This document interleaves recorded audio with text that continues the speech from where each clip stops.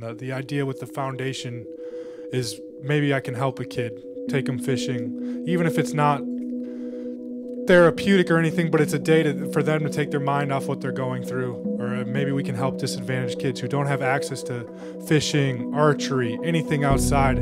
I just think it's a great opportunity, and I think I don't think kids can get outside enough, so it's awesome. To create a therapeutic memory for kids and uh, grieving families through the outdoors. It's awesome.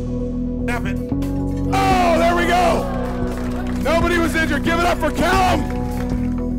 I'm incredibly grateful that the outdoors were there when I lost my dad and I was able to grieve through that. So it's going to be a great night, guys. I'd like to thank our sponsors, all the volunteers, all the special teammates here tonight, my family, all you guys. Thank you. It's going to be a great night. We're going to have a lot of fun.